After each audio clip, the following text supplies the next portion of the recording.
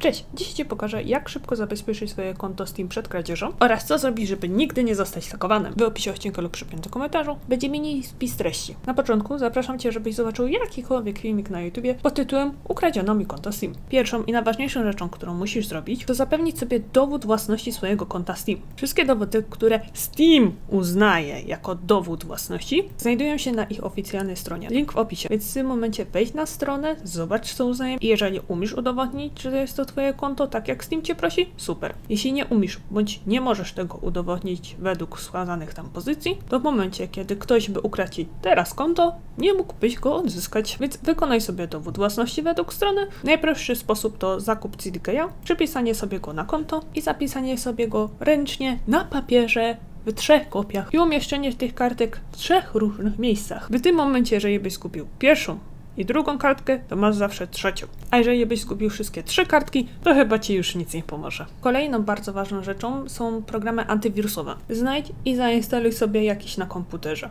Naprawdę warto. Następnie ustaw sobie bardzo silne hasło na Steam. Im bardziej skomplikowane hasło, tym lepiej. Jeśli nie masz pomysłu na mocne hasło, istnieją strony, które mogą ci je wygenerować. Pamiętaj, że możesz zawsze je zapisać na kartce i użyć metody trzech kartek. Nigdy nie zapisuj swoje hasło na komputerze, bo w momencie, kiedy ktoś ci się włamie na komputer, wszystko będzie mieć podane na tacy. Kolejną dobrą rzeczą jest założenie sobie SteamGuarda. Działa on w taki sposób, że w momencie, kiedy się logujesz, musisz jeszcze wpisać dodatkowy kod, który zmienia się co 30 sekund. Sposób jego założenia już kiedyś omawiałam, więc w opisie odcinka będzie link do tego. Kolejnym bardzo dobrym narzędziem do zabezpieczenia swojego konta jest kontrola rodzicielska. Działa to w taki sposób, że dopiero po wpisaniu PIN-u masz dostęp do wszystkich funkcji Steama. Więc polecam użyć tej funkcji w taki sposób, że osoba, która nie posiada PIN-u może zagrać tylko jedną grę, najlepiej single player, bez multi, żeby wam nie wbiła waka. Takim sposobem osoba, która ukradnie wam konto, a nie będzie dać spinu, może sobie jedynie pograć. W opisie odcinka będziecie mieć filmik, jak to założyć. Teraz powiem wam najlepszy sposób, żeby nigdy nie zostać sakowanym. Pod żadnym pozorem, absolutnie nigdy nie klikaj w żadne linki. Jeśli chcesz, poczytaj sobie więcej na ten temat w internecie,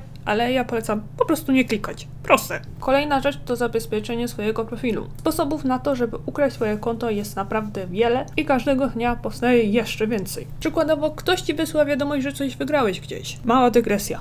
Zapamiętajcie sobie jedno ważne hasło. W dzisiejszych czasach za darmo umarło. Więc jeżeli jakiś nieznajomy chce ci dać cokolwiek, a w szczególności gry, nie przyjmuj ich, bo w momencie, kiedy przyjmiesz ten prezent, złodziej może użyć to jako dowód własności i tym samym ty możesz się pożegnać ze swoim kontem Steam. Jeżeli ktokolwiek podaje się za pracownika Steam, zablokuj go natychmiastowo. Wszystkie oficjalne wiadomości o Steam będą wyświetlane w zielonej kopercie. Jest ten sposób, że osoba ci mówi, że ona cię przypadkiem zgłosiła, więc teraz dostaniesz waka, więc musisz zrobić coś tam. Głoście tą osobę i usuńcie ją ze Steama, bo jest to zwykły skamer. Tych przekrętów jest naprawdę wiele, więc jeżeli chcesz być na bieżąco, warto sobie poczytać o nich, szczególnie na anglojęzycznym internecie. Dobra, to teraz wam pokażę jak zabezpieczyć swój profil. Najdź na jedynkę i kliknij. U góry po prawej kliknij, kliknij tutaj.